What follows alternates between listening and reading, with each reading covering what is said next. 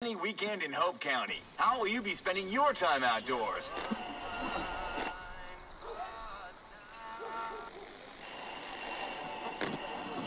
Eden's Gate is still causing trouble.